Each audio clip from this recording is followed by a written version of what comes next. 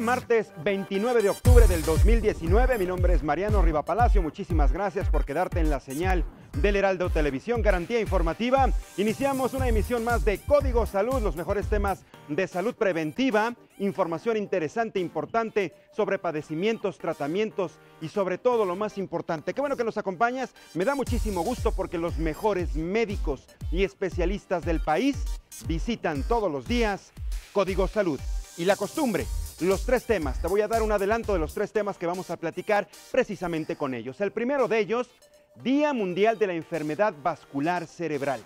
Es la causa más común de incapacidad en adultos mayores y es la quinta causa de muerte entre este sector. ¿Por qué se manifiesta? ¿Cuáles son los síntomas? ¿Hay tratamiento? ¿Hay cura? Quédate con nosotros. Tú no sabes, es martes de salud mental. Hoy vamos a platicar de los terrores nocturnos. Se le conoce a las interrupciones del sueño. Es muy frecuente en niños, pero también se puede presentar en adultos. La gente despierta toda aterrada, bañada en sudor, sufren de constantes pesadillas, que son los terrores nocturnos. Quédate con nosotros. Y el tercer tema, vamos a hablar de la presbicia. Es cuando el ojo pierde su capacidad para enfocar tanto de cerca como de lejos. ¿Por qué se presenta la presbicia?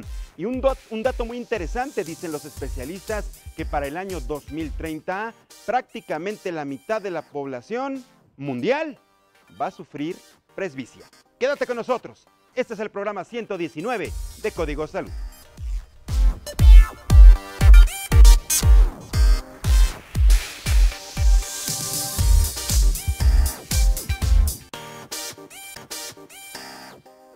Mientras te platico que cirujanos del Instituto de Seguridad Social del Estado de México realizaron por primera ocasión en el país la extracción de un tumor cancerígeno alojado en el bronquio principal derecho de un paciente mediante una técnica diseñada en España.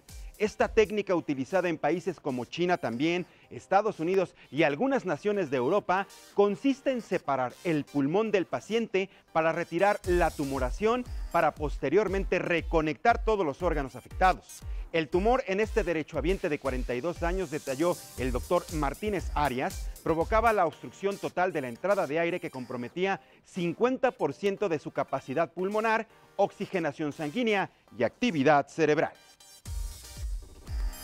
Y cada año en nuestro país fallecen con, sufrimiento más de 16 mil niñas y niños que no tienen acceso a medicamentos que mitiguen el dolor que causan diferentes enfermedades terminales. Así lo informó Miguel Ángel Mancera Espinosa, coordinador del Partido de la Revolución Democrática en el Senado de la República, quien destacó que más del 80% de los niños con enfermedad terminal no tienen acceso a fármacos paliativos. Mancera señaló que son los grupos vulnerables a quienes afecta en mayor medida esa falta de medicamentos. Y en Oaxaca entró en vigor la no penalización del embarazo antes de las 12 semanas de gestación. Esto se dio ya con la publicación de la reforma al Código Penal en el periodo oficial del Estado, en donde se evita la criminalización de las mujeres que deciden no tener hijos mientras tengan menos de 12 semanas de embarazo. La mujer que realice esta práctica después de la fecha señalada se le impondrán de 3 a 6 meses de prisión o de 100 a 300 días de trabajo a favor de la comunidad. Y a quien obligue a abortar a una mujer se le aplicará de 3 a 6 años de cárcel. Y si además emplea violencia física o moral, la pena será de 6 a 10 años de prisión. Muy bien, vamos a comenzar uno de los temas que ha llamado muchísima la atención a nuestros seguidores aquí a través del Heraldo Televisión. Es martes de salud mental y se le conoce como terrores nocturnos a las interrupciones del sueño, muy frecuente en los niños, que son similares a tener una pesadilla, pero se vive de forma más dramática. ¿Cómo se presentan? ¿Cuál es el origen, la causa de un terror nocturno? De eso vamos a platicar. Tenemos datos interesantes y ya está con nosotros la maestra en psicoanálisis, Diana Paola González. Bienvenida, maestra. Los terrores nocturnos se presentan de forma repentina. Provocan gritos con angustia. Aceleran la respiración. Elevan la frecuencia cardíaca. Provocan sudoración en exceso, además de movimientos repentinos en las piernas y causan sensación de miedo.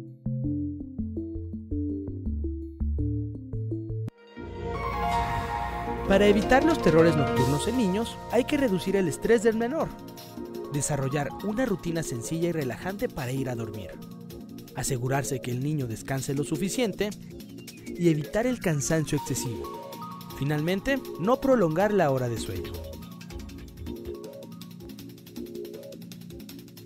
Interesante porque si bien es conocido, siempre conocemos, tenemos alguien en la familia, algún vecino o alguna persona cercana que nos ha platicado que sobre todo los pequeños de repente manifiestan este tipo de situaciones llamados terrores nocturnos. Pero, ¿de qué se trata? Ya la anunciábamos. Agradezco a Diana Paola González Juliá, maestra en psicoanálisis, su presencia para platicar este martes de salud mental en Código Salud. Bienvenida Diana Paula, muchísimas gracias, gracias, por estar con nosotros este día. Encantada de estar aquí. Muchísimas gracias. Y bueno, en parte todo esto tiene que ver porque nos estamos acercando, ya sabes, al día de Halloween, a la celebración de los muertos, como que son temas muy relacionados a esta fecha tan importante, tanto para otros países como Estados Unidos, que es el caso de Halloween, como la celebración del Día de Muertos para nuestro país. Pero bueno, los terrores nocturnos se pueden presentar en cualquier momento, ¿no? No se esperan a que sea Halloween ni, ni Día de Muertos. ¿Qué pasa? ¿Qué son los terrores o temores nocturnos? Ok, hay una diferencia. Los terrores nocturnos tienen que ver con un proceso neurológico. Ocurre durante la última etapa de sueño profundo de REM, de movimientos oculares rápidos, que las siglas en inglés son REM, Rapid Eye Movement, y en la transición a la fase más superficial de sueño no profundo de no REM, entonces ocurre eh, como un terror, ¿no? No es que haya una pesadilla, no es que eh, esté soñando la persona, sino que simplemente se despierta agitada, sudando. Generalmente al día siguiente no recuerdan qué fue lo que sucedió justamente porque estaban como en esta transición del sueño. Y eh, es diferente de una pesadilla. ¿no? Una pesadilla ocurre en esta etapa de sueño profundo los niños a lo mejor sí se levantan, se pueden incorporar, pero inmediatamente a lo mejor pueden decir, estaba soñando, que me estaban persiguiendo o que alguien se moría, en fin. Entonces, no, hay que confundir. Los terrores nocturnos no necesariamente, más bien, no son pesadillas. De un momento a otro, la persona, los niños, cualquier persona se despierta de manera abrupta, sudando, espantado, etcétera, etcétera, pero no hubo una pesadilla de por medio. Por eso nadie se acuerda de nada de haber soñado nada, pero se levantó de esta forma. ¿Hay una razón neurológica entonces? Sí, tiene que ver, los, los temores, los terrores nocturnos más bien, aparecen en niños generalmente hasta los 12 años. Es un momento en el que el cerebro todavía no está completamente eh, desarrollado y entonces aparecen estos sueños. Ya una vez que el cerebro está completamente estructurado, como el de un adulto, entonces dejan de aparecer. Tiene también que ver con un proceso en el desarrollo. Y eh, bueno, pues las pesadillas no, no, tienen que ver con un momento en particular, ¿no? Puede ser que haya una situación difícil y entonces a lo mejor estoy presentando muchas pesadillas, pero los terrores tienen que ver sí con, sucede más en niños, por esto que comento de, de la estructura cerebral, pero también se desencadenan por mucha ansiedad, a lo mejor estoy pasando por una situación muy difícil que me ha tenido muy ansioso durante un periodo de tiempo bastante largo, a lo mejor no estoy en mi casa, eh, a lo mejor estoy tomando un medicamento que me está haciendo tener estos terrores nocturnos. O sea, son varios factores, sobre todo externos, que pueden influir en la persona para que presenten un terror nocturno. Ahora, pero si está de por medio, por ejemplo, el estrés. A pesar de que ya nos comentas que en el caso de los infantes, de los niños, es porque todavía no termina de formarse correctamente o al 100% su cerebro. Pero si hay de por medio, por ejemplo, estos factores de ansiedad, estrés, porque en la actualidad ya tenemos niños que se estresan, que están ansiosos, hay muchos problemas alrededor, familias eh, disfuncionales, inseguridad, etcétera, etcétera, que también les puede llegar a afectar a ellos. Esto me imagino que también se agrega, a pesar de que no han logrado concretar la evolución máxima de su cerebro, ¿no? Justamente es así, ¿no? A lo mejor estoy en una situación difícil, familiarmente hablando. ¿Les afecta a los niños? Les afecta muchísimo, pero a lo mejor estoy escuchando las noticias con muchísima frecuencia, a lo mejor estoy escuchando a mis papás que están hablando de la inseguridad, del robo que le hicieron al vecino, de que en casa de mi tía ya se metieron a robar, y esto a lo mejor se habla entre adultos, a lo mejor sin tener mucha conciencia de que los chiquitos están escuchando. Y los niños absorben de una manera importante, lo captan, ¿verdad? Así es. Entonces esto lo pueden reflejar a la hora de dormir. Exacto. Con los niños pasa algo eh, que es muy importante tener en cuenta. No pueden apalabrar igual que lo haría un adulto, ¿no? Entonces, a lo mejor un niño no puede decir, me siento angustiado por la situación de inseguridad en el país. Eso sucede con muy poca frecuencia. Entonces, ¿qué hago? Mi manera de elaborar es a través del sueño, ¿no? Como a falta de poder explicarlo y expresarlo.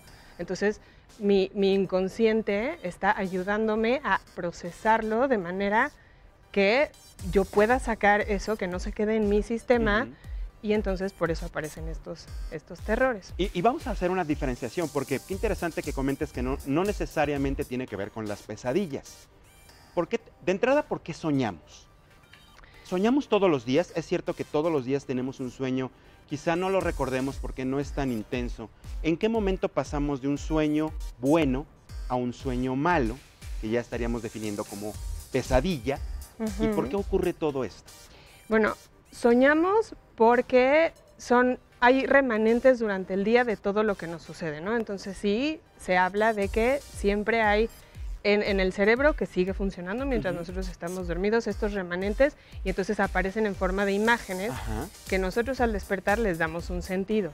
Sí, como que queremos hacerle una historia a todo esto, aunque no siempre se tiene. Exacto. Y no siempre nos acordamos, porque también depende de la fase del sueño, en qué momento nos despertamos, qué tan profundo. Entonces, eh, no, no siempre es, por eso a veces decimos, no, no, yo no sueño todos los días. Hay gente que dice, no, yo nunca sueño, ¿no? Pero sí se sueña, ¿verdad? Sí se Está comprobado científicamente que todos los días soñamos. Así es.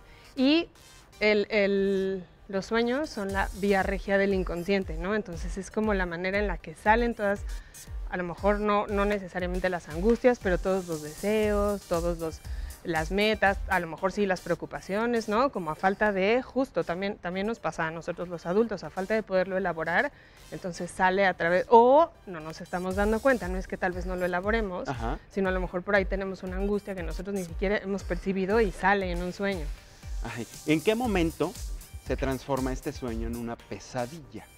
Cuando hay angustia. Cuando hay angustia, cuando tenemos una preocupación, un problema en casa, en el día a día. Exacto. Ahora, aunque tengamos una preocupación, a lo mejor mi, preocupación principal es la inseguridad en mi colonia, pero yo no sueño inseguridad, sueño otras cosas. Sueño un monstruo, sueño que me persiguen, sueño quizá un homicidio, otras cosas que para mí me pueden causar terror, porque es una pesadilla. No está ligado necesariamente. Por eso podemos tener imágenes diferentes. Sí, sí está ligado. Sí está ligado. Sí puede estar ligado a lo mejor a mi preocupación, pero lo que hace el inconsciente es lo disfrazo, ¿no? Como yo no estoy a lo mejor pudiendo procesar cierta información, lo que mi inconsciente es, ok, voy a sacar esta información, la voy a poner sobre la mesa, pero te voy a esconder un poco eh, digo, lo estoy caricaturizando obviamente, pero lo voy a esconder para que tú lo puedas ver. Y entonces a lo mejor si yo estoy muy preocupada porque sí la inseguridad en mi colonia, a lo mejor lo que yo sueño es que alguien me está persiguiendo, ¿no? O que no puedo llegar a mi casa, ¿no? Y entonces esa es una representación, digamos, de lo que inconscientemente estoy viviendo. Y a través del psicoanálisis, precisamente, ustedes los especialistas, maestra, tienen, por ejemplo, definido o hay como un catálogo para poder definir lo que soñamos, sobre todo las que están más enfocadas al, terror, a la pesadilla, a la incomunidad, a la, a la, angustia, por ejemplo. ¿Hay alguna definición? Por ejemplo, si alguien sueña, no sé, con caerse significa algo, si alguien sueña constantemente con un accidente significa algo, si alguien sueña con arañas, con serpientes, ¿tiene alguna razón o explicación a través del psicoanálisis? No, en realidad no hay desde el psicoanálisis como figuras, como arquetipos, digamos, en los que yo te pueda decir, ah, bueno, tú soñaste eso y yo soñé eso, entonces significa lo mismo. No, ¿por qué?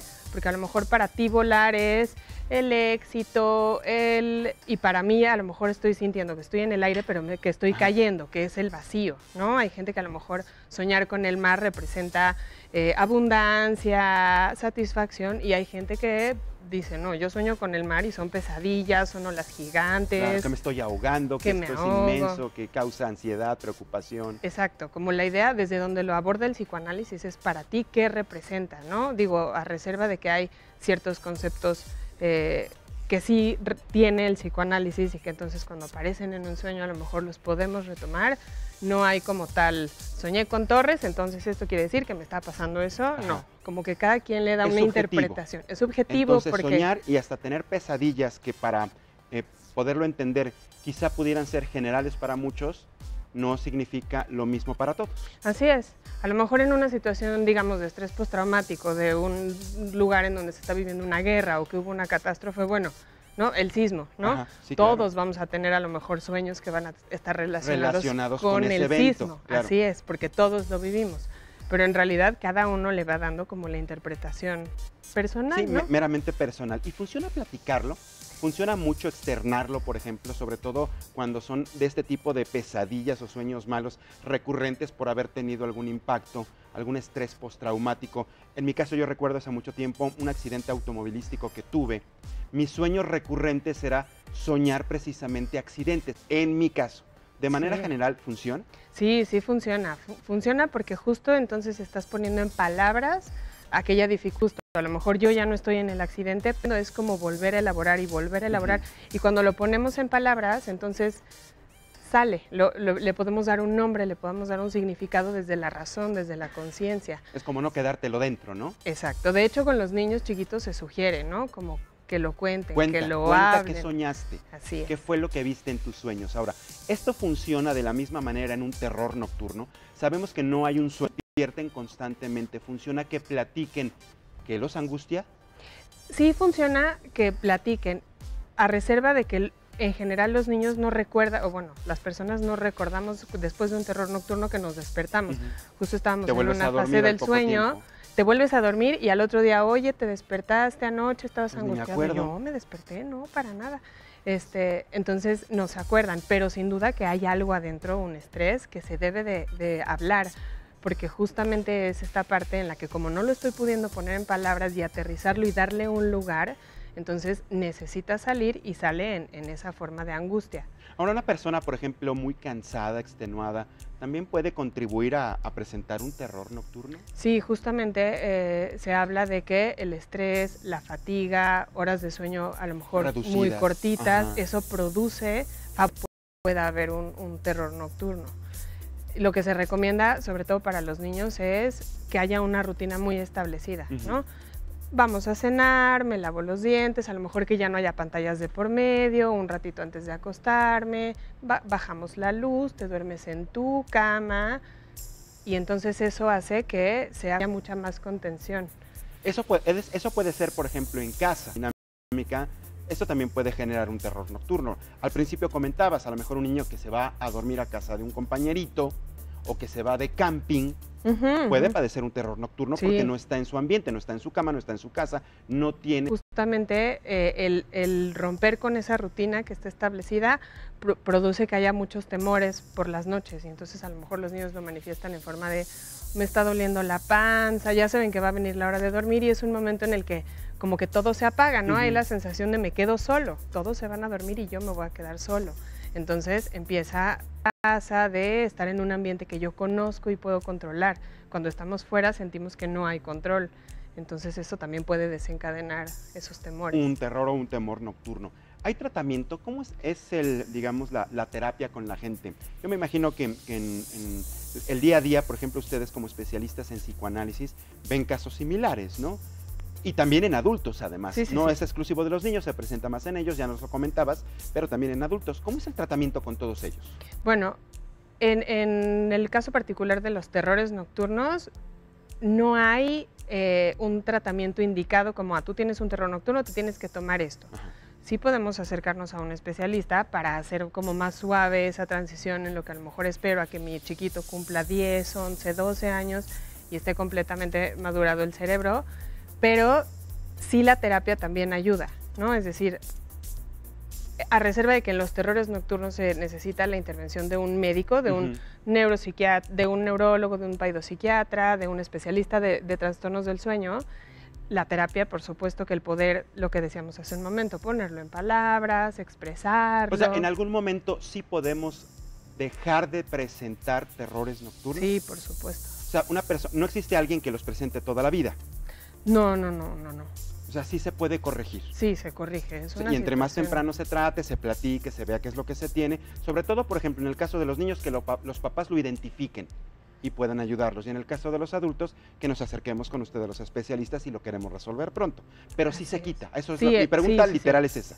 Sí, sí, es un, es una, es una, es un padecimiento, digamos, que sí es tratable y que sí se observa que a mayor eh, trata, o sea, es decir, a mayor exposición a la terapia, entonces menor es la cantidad de pesadillas que yo voy teniendo. Impresionante. Pues yo creo que es interesante lo que nos has venido a platicar. En algún momento yo creo que todos hemos tenido en algún momento un terror nocturno. Lo que pasa es que no siempre nos acordamos. Lo que sí tenemos son sueños constantemente, todos los días, y en ocasiones pesadillas, definitivamente. Pues muy bien, muchísimas gracias a Diana Paula González Julián, maestra en psicoanálisis, tu presencia, estos breves minutos interesantes aquí para la audiencia de Código Salud. Muchas gracias. Maestra, bienvenida a tu casa y muchas gracias por haber estado con nosotros. Gracias a No ti. te levantes. Interesante. Quizá seas de las personas que tiene precisamente terrores nocturnos. Especialistas como la maestra, pues bueno, te pueden recibir. Vamos al siguiente tema. Al principio te platicaba sobre la enfermedad vascular cerebral. Es una alteración en las neuronas que ocasiona la disminución del flujo sanguíneo en el cerebro. Estas afectaciones provocan cambios en el cerebro que se clasifican en dos, la isquémica y la hemorrágica. La alteración isquémica cerebral transitoria se produce por la interrupción del flujo de sangre. A pesar de que los síntomas duran pocos segundos, es considerada como una urgencia médica. ¿De qué se trata? Te presento la pieza, ya está con nosotros el especialista, ya lo sabes para entrar a detalle. Se le conoce como enfermedad vascular cerebral a una alteración de las neuronas que ocasiona la disminución del flujo sanguíneo al cerebro. Estas afectaciones provocan cambios en el cerebro que se clasifican en dos tipos, las isquémicas y la hemorragia. La alteración isquémica cerebral transitoria se produce por la interrupción de flujo sanguíneo. A pesar de que los síntomas duran pocos segundos, es considerada como una urgencia médica. Otro tipo de alteración isquémica es el infarto cerebral, que surge cuando el flujo sanguíneo se interrumpe debido a una obstrucción, la cual puede ser causada por grasa o la acumulación de sangre en un vaso sanguíneo. Mientras que el otro subtipo son las hemorragias, que se originan cuando un vaso sanguíneo se rompe, causando sangrado al interior del cerebro. Los síntomas más frecuentes de la enfermedad vascular cerebral son alteraciones repentinas en la visión de un ojo o de ambos, pérdida repentina de la fuerza en alguna extremidad, sensación de hormigueo en la cara, brazos o piernas, así como presentar problemas al hablar acompañado de balbuceo, tener desequilibrio o inestabilidad al caminar. La enfermedad vascular cerebral puede empeorar con algunos factores de riesgo como la edad y el sexo, ya que se presenta con más frecuencia en hombres, además de que algunos factores propician su aparición, como el alcoholismo, tabaquismo, la inactividad física y la obesidad. Heraldo Media Group.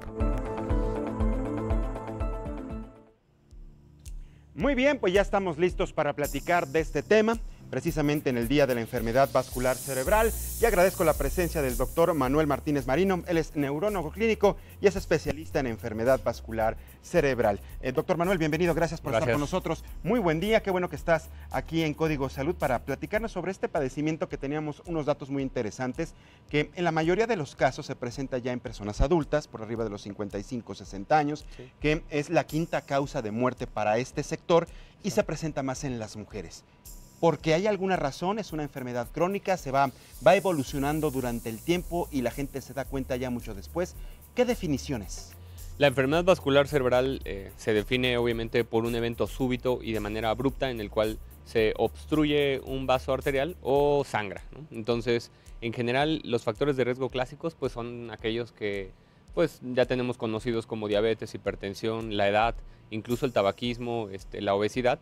Y estos eh, factores se van agregando y constantemente vamos produciendo est- estos factores este, a lo largo de nuestra vida y llega un momento en el cual la situación es abrupta y se tapa o sangra el cerebro. Y tiene que ver mucho con el estilo de vida, hay un factor genético, hereditario de por medio. ¿Por qué? Esto es una enfermedad multifactorial. Obviamente los hispanos eh, tenemos cierta genética predispuesta a hacer infarto cerebral. Sin embargo, los factores clásicos es la hipertensión, todos estos factores comórbidos de- de- del estilo de vida de hoy en día. Sin embargo, hay nuevos factores que hemos identificado como el estrés crónico. Eh, hemos identificado incluso la, la falta de actividad física, que eso ya lo sabíamos por mucho tiempo. Y la otra, la alimentación, Hoy siempre hemos sabido que, comer frutas y verduras es bueno, pero hoy sabemos que no hacerlo a, diario es malo, ¿no? Tan malo como quizás fumar un cigarro. Entonces, de verdad, a ese así nivel. De, a ese nivel, ¿no? Entonces tenemos que buscar este, una buena alimentación, ejercicios, disminuir los factores de riesgo y otro punto que hemos visto recientemente en, la ciencia es que incluso la falta de, horas de sueño se vuelve un factor importante para una enfermedad cerebrovascular. Bueno, estamos hablando entonces de un proceso que podemos prever desde muy jóvenes. O sea, si nosotros ponemos, digamos, en una mesa de atención propia de nuestra vida, todo esto que nos has dicho, el que hagamos ejercicio, el que tengamos una muy buena alimentación, en que dejemos el cigarro, le bajemos al, alcohol, por ejemplo, el que comamos, el que logremos incluir en nuestra alimentación frutas, legumbres, vamos a evitar a la larga un evento vascular cerebral. Porque además nos comentas que es de la noche a la mañana. Por eso también la gente lo conoce como derrame o embolia. ¿Es correcto? Exacto. Es el ¿Estamos hablando de lo mismo? Es lo mismo. Exactamente. El, término médico es infarto cerebral eh, eh, o hemorragia cerebral, pero el término coloquial en la población es derrame, derrame, cuando sale sangre o embolia cuando un vaso se tapa, ¿no? Entonces, estos dos factores se presentan exactamente igual. ¿Cómo lo podemos saber cuál es el que está sucediendo? Simplemente con un estudio de imagen de la cabeza, una tomografía o resonancia en un momento de urgencia. Y algo muy importante que tenemos que tener claro es el tratamiento agudo ¿no? del paciente. ¿Por qué? Porque para la embolia cerebral tenemos aproximadamente cuatro o seis horas de, tratamiento agudo. Incluso hay algunos experimentos en los cuales se puede dar tratamiento todavía dentro de las 24 horas, siempre y cuando cumpla criterios del paciente. Pero existe cierta, cierto tratamiento que puede recuperar neuronas, ¿no? Incluso hoy en día también dentro de, medicamentos o, rehabilitadores de neuroprotección, tenemos algo como la citiculina que neurorepara el cerebro y que se produce aquí en México por un laboratorio mexicano también. Ya, ahora, pero dime una cosa, nos comentas que es un evento súbito, prácticamente de la noche a la mañana. Por eso es una embolia. Sabemos que la gente, es que le dio una embolia, sí, de la noche a la mañana. Es que yo lo vi ayer y estaba bien. Exacto. Y el día de hoy ya tiene esto. No da un síntoma, un signo que pueda alertar para que yo llegue directamente al, a los servicios de urgencia. De plano es tan súbito que me pasó, ya me pasó. Eh, uno de cada cuatro pacientes, como lo decían ahorita en, en, la parte del documental, uno de cada cuatro tiene algo que se llama isquemia cerebral transitoria es un preinfarto, quiere decir que se tapó el vasito y en unos minutos se destapa. El paciente tiene los síntomas, deja de hablar, se le paraliza la cara, no puede mover el brazo y en una hora, media hora, pues la familia piensa que es estrés, cansancio, le dan un masaje, etcétera, recupera y dice, no, mira, estabas estresado, le toman la presión. Es que porque de repente le da y se le quita. Exacto, eso puede ser algo que avise, pero sucede en uno de cada cuatro pacientes. La verdad es que no sucede en los es cuatro. Es mínimo, definitivamente es mínimo, por eso los otros tres definitivamente ya se presenta la enfermedad vascular cerebral y tienen que ir de inmediato a los servicios de urgencia. Exacto. Llega la persona a los servicios de urgencia, ustedes detectan con esto que nos comentabas, con una serie de estudios que se le hacen en ese momento al paciente, y de repente ven que efectivamente se trata de una persona que está padeciendo un derrame, está padeciendo una embolia, como popularmente se dice. ¿Qué se hace? Yo, yo me imagino que lo primero que tienen que hacer es salvarle la vida. Sí, sí. El... Y evitar, digo, y, y, cuando la salvan, evitar los efectos secundarios. Exacto. El 20% de los pacientes pueden morir en la fase aguda del, del, infarto o del derrame cerebral. Eh, durante la fase hospitalaria puede dormir, puede morir otro 10, 15% y además los que quedan vivos quedan con secuelas, ¿no? Entonces es una enfermedad catastrófica en el sentido que es altamente mortal y además es muy discapacitante, ¿no? Disminuye la calidad de vida de los pacientes, es un gasto para el servicio de salud y para la población. Entonces hoy en día nosotros decimos que tiempo es cerebro. Un paciente tiene un síntomas de una embolia o un derrame cerebral y tiene que acudir inmediatamente a su hospital más cercano.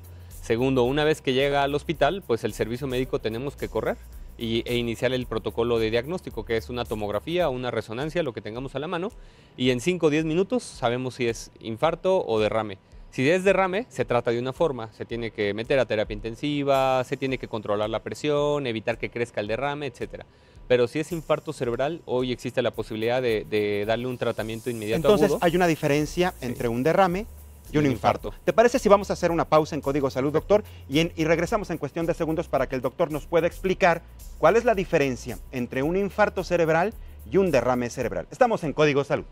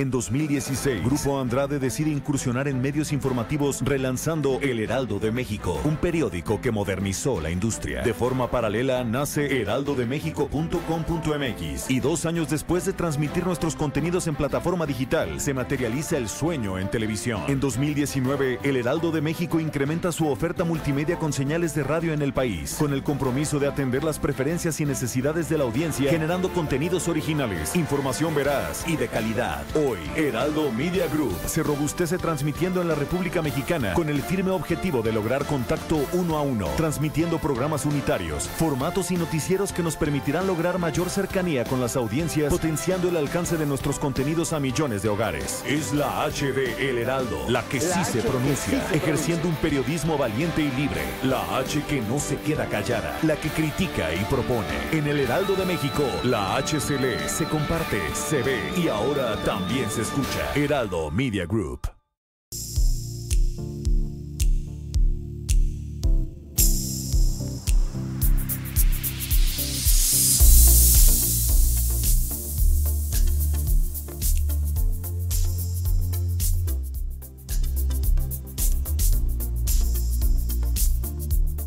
Estamos de regreso en Código Salud. Qué bueno que te integras con nosotros a la transmisión. Estamos platicando con el doctor Manuel Martínez Marino. Él es neurólogo clínico. Estamos hablando de la enfermedad vascular cerebral, comúnmente conocida como embolia o derrame cerebral. Antes de irnos a la pausa, doctor, nos comentabas que no es lo mismo un infarto cerebral que un derrame o embolia cerebral. ¿Cuál es la diferencia? Con respecto a factores de riesgo, son exactamente muy parecidos, ¿no? La hipertensión, factores de riesgo, etcétera, son, se comparten. Sin embargo, la diferencia es que existe un mecanismo diferente cuando es derrame. ¿Por qué? Porque se rompió el vaso. Entonces, lo que hay que hacer es controlar la presión en ese momento, entra a terapia intensiva y tenemos que evitar que se expanda este De su derrame. nombre, como para entender un poquitito el nombre de derrame, ¿no? Derrame Se cerebral. rompe el vaso, derrama Derrame, sangre, por exacto. decirlo. Y en cambio, lo que es el, el- el- el infarto, bueno, hubo una obstrucción. Exacto. Es correcto. De ahí sí. la diferencia. Tapó el flujo, no llega el flujo a un cierto número de neuronas y por cada minuto que pasa una neurona sin flujo cerebral se mueren más o menos 2 millones de neuronas por minuto. ¿no? Entonces, Impresionante. este, el tiempo es cerebro y esto quiere decir que entre más rápido nos puedan tratar y si tenemos una alternativa de terapia de reperfusión, pues el paciente va a recuperar más neuronas. ¿no? Ahora, en el caso de la embolia o derrame, aquí se está perdiendo sangre y Sí. la sangre está invadiendo, digamos que la, la estructura del cerebro, Sí. está irrigando. Bueno, ¿qué pasa? ¿Qué es lo que hacen ustedes en ese momento? ¿Tienen que entrar a cirugía? No necesariamente hay. El, espectro de la hemorragia o del derrame cerebral es muy amplio, ¿no? porque depende de la localización, el tamaño del derrame, las comorbilidades o las enfermedades de los pacientes y además la situación en la que llegan urgencias, porque hay pacientes que el derrame lleva un día. Es un paciente sumamente complicado, que primero lo que hay que hacer es estabilizarlo. ¿no? Cuando llega un paciente con criterios de que el derrame está en una parte muy fácil, accesible y que además si se lo, si se lo pueden sacar o lo pueden drenar, mejora la calidad de vida, se mete inmediatamente. Y si llega un paciente con un derrame pequeño, pero en una zona estratégica y muy profunda, es más riesgo meterlo a cirugía y quitárselo y lo mejor es solo vigilarlo. Y bueno, quizás en el futuro se puede decidir si será candidato o no. Entonces es muy, es muy complejo la decisión aguda y depende de un equipo multidisciplinario, no solo un neurocirujano, un neurólogo. Generalmente es el urgenciólogo, el internista, el neurólogo, el intensivista. Todos ellos tienen que tomar una decisión importante. Sí, sí. Ahora, ¿qué es lo más común? Lo más común en el mundo es el infarto cerebral. De 10 infartos, bueno, de 10 eventos vasculares cerebrales, 7 a 8 son infartos Y cerebrales. los otros dos son son, los- hemorragias son las hemorragias, los derrames o las embolias. o las embolias. Exacto. Y de este, este porcentaje, que es lo más común, ¿qué tipo de derrame o embolia se presenta? Del 20% que tienen derrame cerebral, pues prácticamente el 90% de esos son hemorragias por presión alta. Por presión alta. Exacto. Y un 10%, 5% de esos pacientes tienen algo que se llama hemorragia subaracnoidea, que es por un aneurisma, ¿no? Es un chichoncito que salió en, en una arteria que posiblemente llevaba años o nació con eso el paciente o se desarrolló por factores de riesgo y bueno, ese explotó y sangró, pero este es menos frecuente. Ahora, ya identificaron al paciente, ya lo tienen bajo eh, revisión, está con este grupo interdisciplinario de médicos del que tú nos comentabas. ¿Qué viene? ¿Cuál es el tratamiento? ¿Cuánto tiempo tiene que permanecer por lo general hospitalizado? El tratamiento también es farmacológico y sobre todo, háblanos de las secuelas, que eso es bien importante porque mucha gente pierde una capacidad impresionante una vez que se presenta una embolia sí, para sí. tener su relación, interactuar, el habla, movimiento. ¿Qué pasa? Ok, una vez que se hace el diagnóstico, lo que hay que hacer es estratificar qué paciente se beneficia de un tratamiento inmediato agudo para romper el coagulito y, y- y que pase la sangre, o qué paciente ya no es candidato, ¿no? Eh, este, este tratamiento o esta decisión debe ser inmediata. Son, nos llevamos 5 o 20 minutos en, en decidirla porque por cada minuto que pasa, como ya dijimos, está muriendo el El cerebro. tiempo es básico. Exacto, entonces a partir de ahí hay que controlar las variables clínicas, presión, que no se sube mucho el azúcar, etcétera, y tenemos alternativas terapéuticas, por ejemplo, para usar algunos medicamentos como la citicolina, que son neuroreparadores y que pueden evitar que se mueran más neuronas y, y ayudar un poquito al cerebro. Una vez que pasa esto, aún así puede haber pacientes que queden con ciertas secuelas y estas secuelas van desde una alteración del lenguaje, es decir, que el paciente sea incapaz de hablar, hasta una alteración de la marcha, ¿no? que el paciente quede en silla de ruedas, postrado en cama, etc. Esto depende del tamaño del infarto cerebral, segundo, del tiempo que le llevó llegar a urgencias, y tercero, si se le dio el tratamiento adecuado o no, ¿no? Porque también lo que sucede mucho en zonas rurales es que no hay ni tomógrafos o no hay el estudio El ideal problema de la lejanía para llegar a los centros y hospitalarios. hay que ¿no? trasladar al paciente a una ciudad más lejos y eso es tiempo. Y volvemos a lo mismo, la primicia aquí es el tiempo. ¿no? El tiempo, el tiempo. sí. Como decimos en tele, el tiempo luego es nuestro principal enemigo y lo mismo ocurre en este tipo de situaciones médicas. Ahora, ¿por qué ocurre más en mujeres que en hombres? ¿Hay alguna razón hormonal quizá de por medio para que se presenten más casos de derrames o embolias en mujeres que en varones? No exactamente, ¿eh? en realidad las, las, la evidencia científica es muy variable con respecto al país, a la raza, etc. En general es uno a uno. ¿Qué es lo que pasa? Que posiblemente después de la menopausia la mujer pierde cierta protección hormonal y entonces se iguala al nivel del hombre, porque a veces en ese grupo de edad, en, la- en los pacientes jóvenes, tienen menos riesgo de infarto, infarto cerebrovascular. Sin embargo, un estado que puede ser comórbido para una embolia cerebral, derrame o incluso algo que se llama trombosis venosa cerebral, que es hay una oclusión de una vena, es el embarazo y el perpuerio y el uso de anticonceptivos hormonales. Esos son factores de riesgo que se pueden asociar y totalmente está descrito que ese grupo de pacientes tienen riesgo e incluso a veces durante el embarazo les llega a suceder una embolia, ¿no? que es algo catastrófico también. Sí, totalmente. Imagínate una persona que está en etapa de gestación inmediatamente, porque además es súbito, Sí. presente una embolia, un derrame, de ser brutal, Sí, sobre sí. todo porque ahí estás hablando ya de dos vidas, ¿no? Exacto. que tienes que velar precisamente por ella. Ahora, eh, un paciente con secuelas, pues desgraciadamente ya no hay reversión, ¿verdad? O sea, la secuela se presenta y difícilmente se logra revertir una secuela.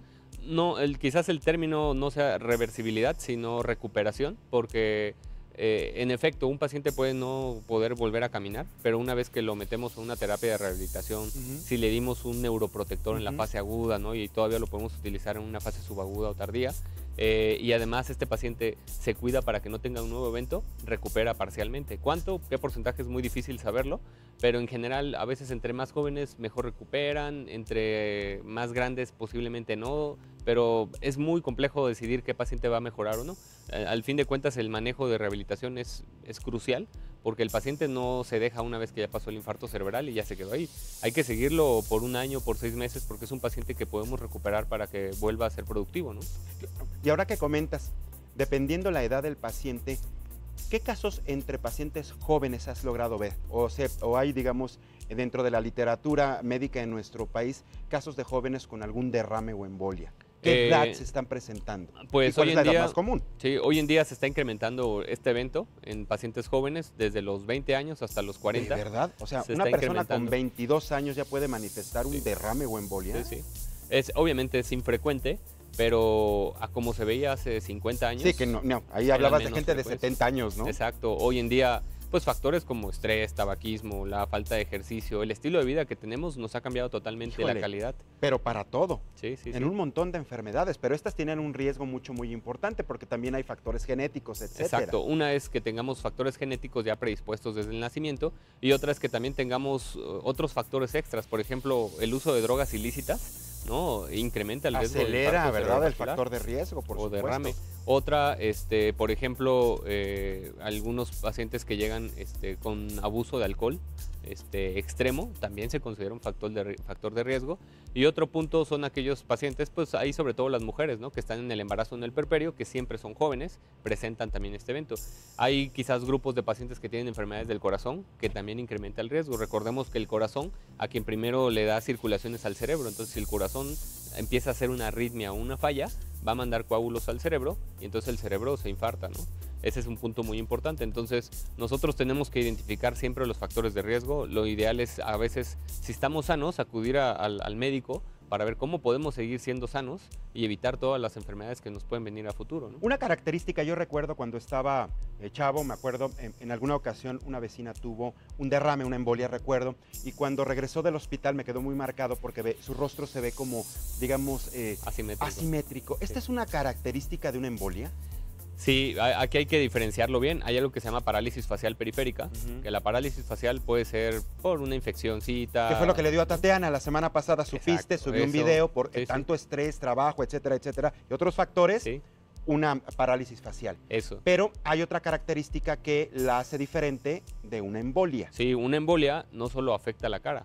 La cara es uno, uno más de los territorios que afecta, pero además se les paraliza el brazo, Además no pueden hablar o tartamudean al hablar y muchas veces va empeorando conforme van pasando las siguientes horas. Una parálisis facial es abrupta, inmediata y solo hace la simetría facial y eso es una inflamación del nervio facial, obviamente hay que darle tratamiento, etcétera, pero no tiene nada que ver con la embolia, ¿no? Ahora, aún así, si sucede esto de fase de, o de momento aguda, yo creo que la recomendación es los dos acuden al hospital y es más fácil que un médico pueda decirles, tú no tienes embolia, esto es una parálisis, y eh, tú tienes embolia, te quedas. ¿no? Sí, hay la gran diferencia. Digo, por, por ejemplo, en el caso de la parálisis facial, ya hay incluso hasta tratamiento mediante células madre, ¿no?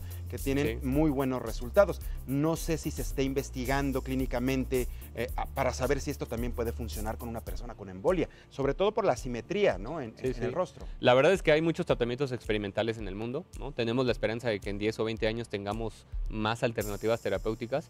Eh, los experimentos que, se han hecho han pasado las primeras fases, pero no llegan a la fase 4 o a la fase 3, porque empieza a haber efectos adversos en, el ser humano. ¿no? Cuando se hace en el animal o en el ratón pueden ser este, beneficiosos, pero una vez que llegan a probarlos en ser humano puede ser ya nocivo.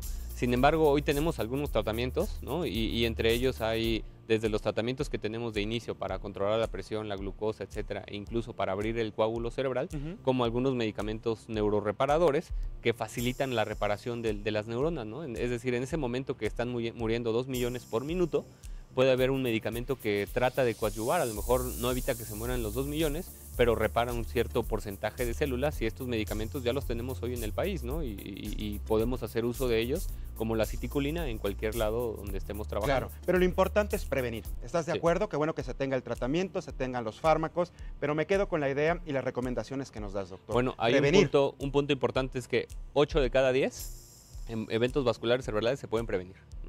Es, altísima la opción. Caramba, tenemos en nuestras propias manos todos los días la opción de evitar un evento cerebral vascular.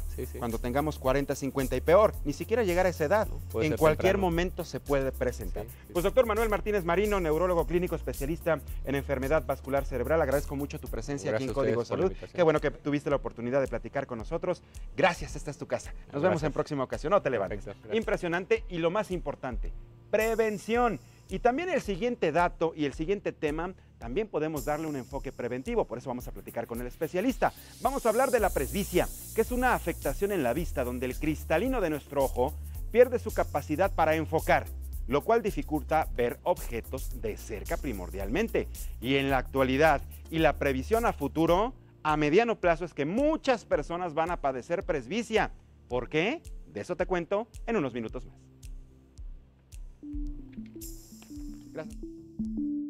Algunos síntomas de la presbicia incluyen dolor de cabeza, fatiga ocular y dificultad para enfocar objetos cercanos.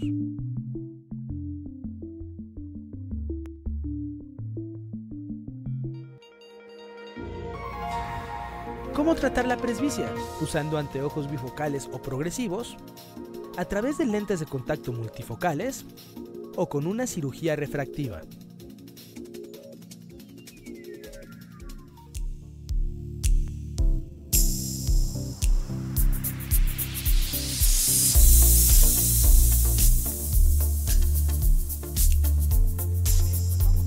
Detalle y ya está aquí en el estudio de Código Salud el licenciado José Luis Monroy. Él es especialista, es optometrista precisamente para hablar de la presbicia. José Luis, bienvenido, gracias por estar muchas con gracias, nosotros. Muchas Muy gracias buen día. por el espacio. Muchas Gracias. gracias. ¿Qué es la presbicia? ¿O es lo que comúnmente conocemos como vista cansada? Realmente sí, ¿Sí? realmente sí. Más bien, vista cansada es el término popular, ¿Popular? ¿no? que la gente conoce para este padecimiento óptico. Y la presbicia precisamente es un problema eh, fisiológico en un momento dado. De una u otra manera nos va a pasar a todas las personas a partir de los 40, 45 años de edad, sin excepción, porque es un problema fisiológico, precisamente lo mencionabas, del lente cristalino. Este lente cristalino que tenemos de manera natural dentro del ojo pierde la, empieza a perder a, a- a partir de esta edad su eh, habilidad para flexionarse. ¿sí? Esta pérdida de, de la, de la flexión del cristalino entonces hace que cuando vayamos a leer eh, objetos cercanos, ¿no? computadora, libros, etcétera, etcétera, perdemos ese, ese enfoque cercano. Ya, yo hablaba al principio de que también se puede prevenir. Entiendo completamente la razón que nos estás dando, que a partir de los 40 es prácticamente inevitable que vamos a presentar todos de alguna manera, de algún grado de presbicia. Así es, ¿ok? así es. Pero sí podemos, digamos, detener el avance acelerado de la vista cansada, ¿es cierto? Pues eh, desde el punto de vista fisiológico no, no es así, ¿no? Más bien dependemos de otros factores también ópticos, ¿no? Por ejemplo, eh, los pacientes que tienen miopía, una miopía de menos 1, menos 1,50, a la edad de los 40, 45 años, esta miopía hace que el paciente todavía de cerca pueda leer. O sea, no se manifiesta como tal. Pero por tener miopía. Exactamente. Entonces, son, por eso te digo, son otros factores ópticos que en un momento supuestamente ayudan o retardan la, la aparición. Por ejemplo, si no tenemos tanta exposición a los dispositivos, a los celulares, a las pantallas, por ejemplo, ya hay algunos dispositivos que ya traen un filtro precisamente para que la luz azul Así no es. sea directamente tan, no nos afecte tanto, por ejemplo, o que sí tengamos la conciencia de comprarnos lentes especiales si tenemos que trabajar mucho frente a la computadora. A eso me refiero, si le bajamos, por lo menos, ¿no aceleramos la aparición? Clínicamente y científicamente eso no se ha demostrado. ¿Ok? Es decir, desde el punto de vista científico no Nos hay va a dar a todos. Nos va a dar a todos, ¿no? Ahora, más bien lo que tú mencionas y lo que nosotros hacemos y sobre todo con este nuevo tema precisamente la famosa luz azul es evitar una fatiga ocular Ya. como tal que en un momento dado es diferente a la presbicia. Pero te repito, de una u otra manera todos vamos a terminar con, con presbicia. con presbicia. Finalmente, ahora, es a partir de los 40 años. ¿Cuáles son los primeros síntomas? ¿Qué empezamos a ver? ¿Cómo empezamos a ver? Quizá es borroso, ya no enfocamos bien. ¿Cuál es el primer síntoma que nos da la? Definitivamente es el, el- el primer síntoma es cuando los mismos pacientes siempre le dicen a uno, oye, tengo que alejar el brazo. Ya, sí. O sea, ya no puedo leer Las aquí. letritas las veía muy bien, ahora le hago Ahora así. tengo que así, ¿no? O, o- Ajá. o los otros te dicen, no, ya no me alcanza el brazo, ¿no? ya no me alcanza el brazo porque aunque lo ponga aquí a esta distancia, ya, Ya no, no alcanzo a enfocar, ¿no? Ajá. Ya está, veo borroso, ¿no? No puedo leer correctamente y nítidamente, ¿no? Ese es el primer síntoma. Es el primer síntoma. Definitivamente. ¿Y qué se hace? Por ejemplo, uno tiene que acudir con ustedes los optometristas, posteriormente con los oftalmólogos. ¿Qué se hace? ¿Se Siendo- corrige? ¿Hay que ponerse lentes? ¿Hay una cirugía? Siendo un problema eh, óptico, pues evidentemente la solución en un momento también es óptica, ¿no? Entonces, este, hoy en día en el, en el mercado tenemos muchísimas opciones para poder corregir esto, ¿no? Empezando por lo más sencillo que son los lentes para vista cansado presbicia, ¿no? Entonces, simplemente se coloca el lente con la graduación Lentes de armazón, ¿verdad? Lentes de armazón, sí. Eh, es una de las opciones. Las otras opciones son lentes de contacto también. Sí, hay también. Lentes de contacto, inclusive blandos multifocales, también es una gran opción. Eh, y en, algunos, algunos cirujanos eh, de córnea ya practican es- unas técnicas especializadas para la presbicia precisamente. ¿no? Eh, ahora, nosotros dentro, dentro de- del equipo de, de Yolia, que es una empresa biomédica, hemos desarrollado una técnica para corregir o compensar este problema de vista cansada. Este tratamiento consiste en la aplicación de unos lentes de contacto semirrígidos, permeables al gas, que se colocan en la córnea eh, a través de, eh, con la ayuda de una solución oftálmica, pero el papel de este lente de contacto semirrígido es generar un moldeo, un cambio en la curvatura de la córnea, Ya. que es nuestro lente anterior. Entonces, al, al terminar el tratamiento que dura siete días, eh, este, este moldeo de la córnea termina siendo este lente corneal un lente multifocal. Entonces, el hecho de tener una multifocalidad en nuestra propia córnea Y ayuda nos a tener permite exactamente seguir enfocar. viendo de lejos y de bien, cerca. Y de cerca dices, ah, caray, ya no ¿Y dependo. esto es lo último en tecnología que se tiene? Esto es lo último en tecnología que se tiene. Qué Es una te- interesante. tecnología muy avanzada porque es, eh, eh, podemos decir en cierta forma que no es invasiva porque no es quirúrgica. ¿no? Es la colocación de un lente. Es la colocación de un lente de contacto semirrígido. Ajá. Sí. Pero la persona tiene que tenerlo puesto siete días. Siete días durante el día. Son Ah, siete días. en la noche se lo puede En retirar. la noche se lo, se lo retira, ¿no? Eh, siete días más o menos unas ocho o nueve horas al día.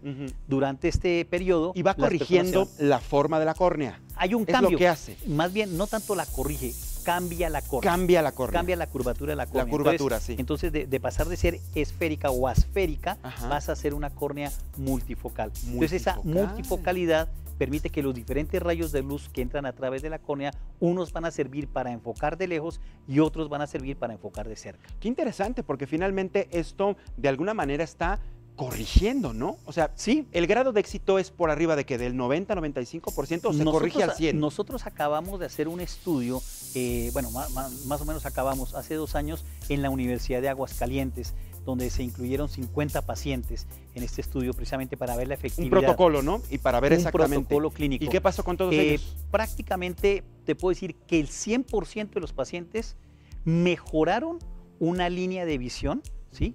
De cerca. El, más o menos el 80% mejoraron dos líneas, el 70% mejoraron tres, cuatro líneas y así sucesivamente. ¿De qué depende que unos tienen mejoramiento a este número de líneas y otros no? ¿La edad? La- puede ser la edad también, puede ser inclusive la misma demanda visual de cada, de cada paciente, ¿no? Pero en términos generales es un, es un tratamiento que es muy efectivo, muy conveniente y práctico, ¿no? No, no estás, llegas a un restaurante y se te olvidó el lente de, de- de armazón y ya que No. alguien que me lea el menú, Ajá. ¿no? Que sucede mucho, que por sucede supuesto, mucho. sí. Aquí eh, parte del objetivo de este tratamiento es ofrecer una visión funcional, ¿no? que tú puedes leer en, un momento dado un documento sin depender de los lentes, ¿sí? Y obviamente esta visión funcional pues depende también de cuánta demanda necesita cada Y, paciente. y te quiero preguntar esto porque una vez que compruebas de la, la funcionalidad de este, de este tratamiento innovador que se tiene que colocar la persona durante siete días continuos, este lente especial, ya después corrige. Ya después de, de conocer los resultados de este estudio, muy buena pregunta, de manera... muy buena pregunta. ¿Va a volver a utilizarlo después? ¿Tiene Sí. que dejar descansar otra vez? ¿Qué sucede? Aquí, aquí este tratamiento, eh, si lo manejamos de la manera que la acabamos de describir, dura, eh, la duración de la efectividad del tratamiento Ajá. es de aproximadamente entre seis meses y un año. Ok. Ahora, como la córnea es elástica, entonces de todas maneras la córnea tiende nuevamente a regresar a su forma original. Entonces eso significa que en algún momento puede ser que el paciente diga, ah, cara, ya, ya no, estoy volviendo otra vez, a no ver de cerca. a no ver de cerca. Entonces, pero la ventaja también aquí es que se puede hacer un retratamiento, inclusive las veces que sea necesario. Eso es importante. Sí. Qué bueno, importante sobre todo ahora con, con tantas letritas chiquitas. Por ejemplo, si uno quiere comprar algún eh, medicamento o simplemente los contratos, por ejemplo, que se está cerrando un negocio y hay que ver las letras chiquitas, luego no las puede ver la gente, Sí, sí, ¿no? O por ejemplo, ver una etiqueta que es bien importante ahora con el nuevo reetiquetado de varios productos. La gente luego, híjole, como dices, tiene que estarse alejando el producto, la Eh, mano, las, para la- ver esto. Las damas lo mencionan en, en todo momento, por ejemplo, en, en el tema de ir al, al, al súper, ¿no? Y, y ni siquiera poder ver la etiqueta del precio del producto, ¿no?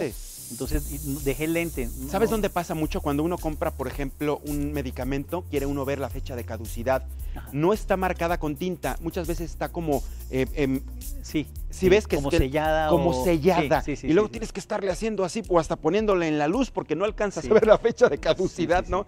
Ya con esto me imagino que corriges ya y puedes ver mejor, por ejemplo, un dato, un número. Definitivamente, definitivamente. Por eso te decía, no, eh, este tratamiento ofrece eh, el resultado de una visión funcional, ¿no? La no dependencia de- de- del lente de armazón, por Ya. ejemplo. Nos preguntan en redes sociales, ¿es caro?